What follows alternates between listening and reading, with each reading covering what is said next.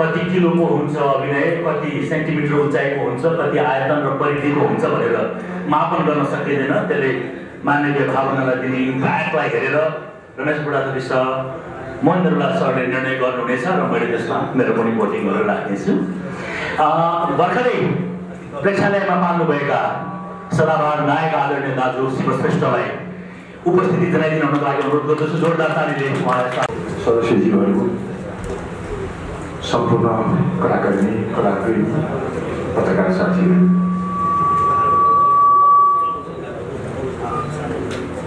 यो क्यानाडामा जुन हुने कार्यक्रमले मलाई साह्रै खुसी तुल्याएको छ किनभने नेपाली सिनेमा हामी भन्छौँ नेपाली सिनेमा भिलेज टु गाउँमा पनि पुग्नुपर्छ र विश्वमा पनि पुग्नुपर्छ। अहिले नेपाली सिनेमा भनेको एउटा सानो परिधिमा छ। अर्बन र सेमी अर्बन एरियामा मात्रै नेपाली सिनेमाहरू पुग्ने हामीले दर्शक पाइरहेका छौँ। त्यो त्यसलाई बढाएर हामीले विश्वमा पनि पुर्याउनुपर्छ र हाम्रा गाउँका दर्शकहरूलाई पनि यसमा समेट्नुपर्छ।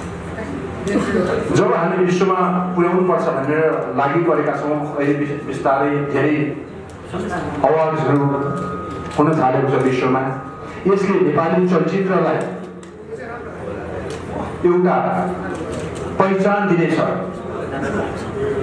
अन्तर्राष्ट्रिय स्तरमा।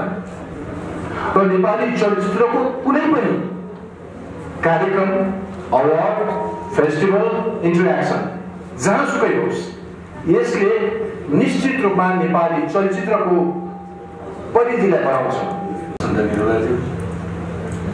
अगाडि चलचित्र सङ्घका अध्यक्ष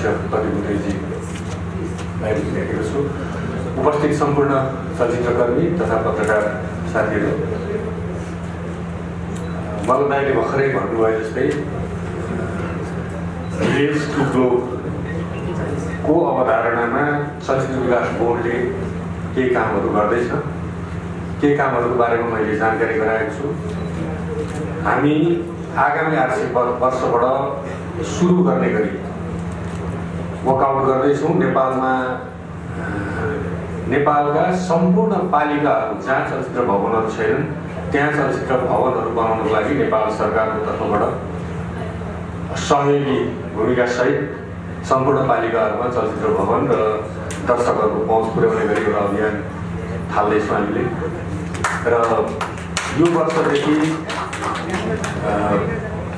shooting destination Nepal filming in नेपालको एउटा प्रमोसनल कार्यक्रम हामी सुरु गर्दैछौँ देशका लगभग सयवटा सुटिङ डेस्टिनेसनहरूलाई हामी प्रिन्टमा एउटा लोकेसन गाइड सुटिङ र लोकेसन गाइड कार्तिक महिनाभित्र हामी प्रकाशन गरिसकेर तपाईँको हातमा लिएर आउँदैछौँ र देशका लगभग बिसवटा मेजर डेस्टिनेसनहरूको हामी भिजुअल सहितको डेस्टिनेसन हामी तयार गर्दैछौँ यस्ता कार्यक्रमहरू अहिले जुन यो क्यानाडामा आयोजन घोषणा हुँदैछ अमेरिकामा मलदाईको अवार्ड छ सूर्य इन्टरनेसनल अवार्ड छ जापानमा कैयौँ फेस्टिभलहरू छन् चलचित्र विकास बोर्डले केही देशहरूमा आफ्नै फेस्टिभलहरू आयोजना गर्दैछ यो सुटिङ डेस्टिनेसन नेपालको नेपाललाई एउटा डेस्टिनेसनको रूपमा परिचित गराउने काममा यस्ता एवार्ड फङ्सनहरू र विभिन्न महोत्सवहरूले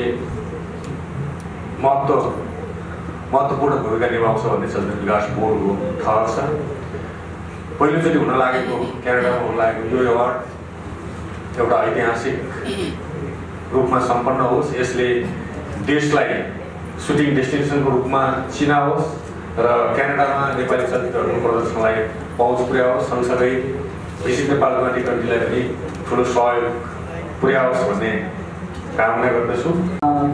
केही नयाँ व्यक्तिहरूलाई चाहिँ निरन्तर रूपमा ट्रस्ट गर्न पर्ने अवस्था देखिएको छ। र त्यो भिडमा म पनि एकजना हामी पनि एउटा चाहिँ नयाँ नै हौँ नयाँ अनुहार हो नयाँ नाम हो नयाँ पहिचान हो। तर हाम्रो कोसिस के हुनेछ भनेदेखि यो कोसिसलाई निरन्तर रूपमा भोलिका दिनसम्ममा पनि नाफा र घाटा भन्ने कुरा तपाईँको हरेक कुरामा हुन्छ।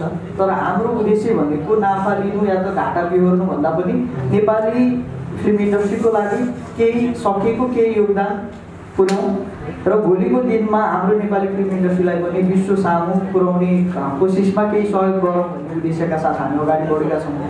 आशा छ भोलिको दिनमा तपाईँहरूको चाहिँ यो एउटा साथ सपोर्ट र सहयोगका साथमा चाहिँ हामी अगाडि बढ्नेछौँ। र जहाँसम्म लाग्छ त्यसमा हामी सफल पनि हुनेछौँ भन्ने आशा लिएर हामी अगाडि बढेका छौँ पनि अवार्ड दीर्घकालीन हुन सकेन यो अवार्डले नेपाललाई आर्थिक रूपमा सामाजिक सांस्कृतिक रूपमा अनि पर्यटकीय वर्ष दुई हजार बिसमा कस्ता खालका फाइदाहरू पुर्याउनलाई आयोजना गरिँदैछ? के के फाइदा हुन्छ? एक दुई तिन भन्नु पर्दा यो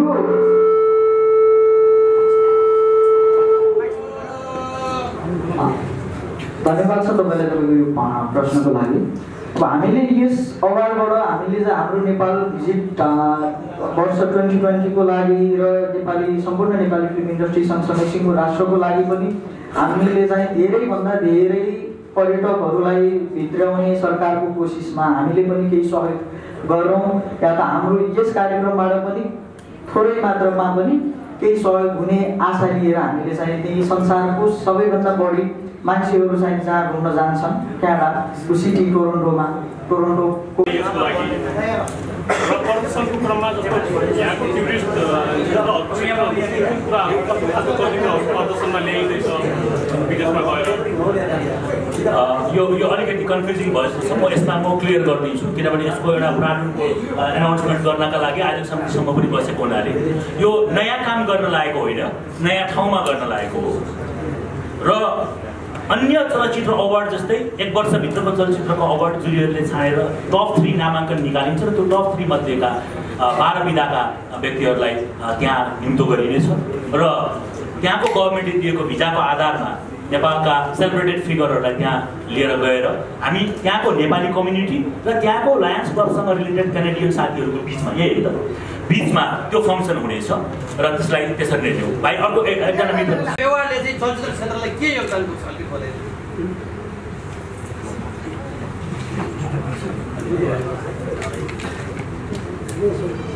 प्रश्नको लागि हजुरलाई धन्यवाद छ। यस हाम्रो सिने स्टार अवार्डले नेपाली फिल्म इन्डस्ट्रीमा हामीले के योगदान दिन सक्छौँ या त के योगदान दिन्छौँ भन्नुभन्दा पनि हामीले गर्ने अरू जुन अवार्ड फङ्सनहरू हुन्छन् क्रमिक रूपमा भइराखेका छन् वार्षिक रूपमा भइराखेका छन् हामीले पनि गर्ने प्रोग्राम त्यही नै हो। हाम्रो खालि तपाईँको एउटा चाहिँ ठाउँ मात्रै फरक ठाउँमा गर्न लागेका हौँ र अर्को कुरा के भन्न चाहन्छु भने हजुर यसमा चाहिँ हामीले आयभार चलचित्र कर्मीहरूलाई तपाईँले हामीले आयभार बढाउँदैनौँ। र अर्को अर्को कुरा म के जोड्न चाहन्छु भने हरेक वर्ष नेपाली नेपालमा जति पनि फिल्महरू बनिन्छन् बन्छन् र ती प्रोफेसनली बनाएका र मिहिनेत गरेका गरेका सिनेमाहरूले लगानी नउठाउने होइन उठाउँछन्। यसलाई हामीले चाहिँ नेपाली फिल्म इन्डस्ट्री अहिले एकदमै विकसित बाटोमा छ। विकास हामीले अब बलिउड हलिउडसँग कम्पेयर गर्छौँ त्यो कम्पेयर गर्न न नगर्ने हो भनेदेखि हाम्रो नेपाली फिल्म इन्डस्ट्रीले एकदमै विकास गरिराखेको छ दिन प्रतिदिन। किनभने एकदमै स्तरीय सिनेमाहरू पनि हाम्रो नेपालमा बनिराखेका छन् र बन्ने क्रममा पनि छन्। होइन त्यसले गर्दाखेरि हाम्रो नेपाली फिल्म इन्डस्ट्री चाहिँ तल ओह्रालो लाग्दैछ त्यो बिल्कुलै भन्न मिल्दैन जहाँसम्म लाग्छ मलाई। किनभनेदेखि हामी विकास विकासको बाटोमा छौँ हामी। होइन त्यसले गर्दाखेरि हामीले एउटा हामीले चाहिँ समावेश गर्ने क्रममा पनि सिनेमाहरूसँग त्यस्तो आर्थिक भार चाहिँ पर्ने गरेर अब नाइन्टी फाइभ पर्सेन्ट या त पाँच चिजलाई मन पराइदिनुहुन्न उहाँहरूलाई हामीले जबरजस्ती हेर्नुहोस् भन्नु पनि मिल्दैन। उहाँहरूको चोइसको कुरा तर स्तरीय सिनेमा बनाउँदाखेरि जहाँसम्म लाग्छ त्यति धेरै घाटामा हामी छौँ जस्तो लाग्दैन। किनभने स्तरीय सिनेमा बनाउनु पऱ्यो त्यसले गर्दाखेरि हुन्छ। मेरो प्रश्न दिनेश डिसी सर। छानिन्छ कसरी म छानिने म एकैछिन एकैछिन म उहाँ उहाँको प्रश्नको जवाब हजुरको दिन्छु म। र त्यसपछि हामी अनौपचारिक रूपमा कुरा गरौँ तल खाँदै पनि कुरा गरौँ ल जिज्ञासा कुरा गर्नुपर्छ। मित्रले अघि जुन चार पाँचवटा मात्रै सिनेमा चल्छ भन्नुभयो यो विषयमा अध्यक्षज्यू लगायत अन्य चलचित्र कर्मीहरूसँग मेरो मत फरक हुन सक्छ यो मेरो नितान्त व्यक्तिगत मत हो। तर विश्वभरिकै सिनेमाको पेसागत क्यारेक्टर हेर्ने हो भने दुईवटा फिल्म बम्पर हुन्छ चारवटा फिल्म सुपरहिट हुन्छ। चारवटा फिल्मले पैसा ठिक्क ठिक्क कमाउँछ अरू फिल्म फ्लपै हुने। यसको नेचर हो यो पेसा। त्यस कारण फिल्म फ्लप भयो चलेन यो भयो अरबौँ घाटामा गयो भनेर फेसबुकमा म देख्छु। र वर्षको अन्तिममा पनि हामी लेखिरहेका हुन्छौँ। नो यो ग्याम्बलिङ हो। सिनेमा यति हालेर यति चल्छ भनेको मोमो यति प्लेट बनाएपछि यति पिठो बिक्री हुन्छ यति बिकेन भने पनि यति चाहिँ उक्रिन्छ भन्ने होइन चलचित्र भनेको। विश्व बजारले भारतमा कतिवटा चलचित्रले लास्ट इयर कमायो? सात सय उन्नाइसवटा फिल्म बन्यो। सात सय उन्नाइस मध्ये तपाईँ उन्नाइसवटा फिल्मको मात्रै भुलेर नाम भन्न सक्नुहुन्छ। अमेरिकाको चारवटा फिल्मको मात्रै नाम भन्न सक्नुहुन्छ। कमाउने त्यति नै हो।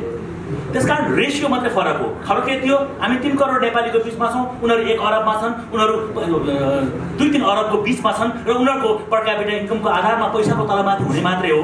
कमाउने र रेसियोको हिसाबमा हेर्ने भने वर्षको चारवटा फिल्मले पैसा कमायो भने त्यो कमायो।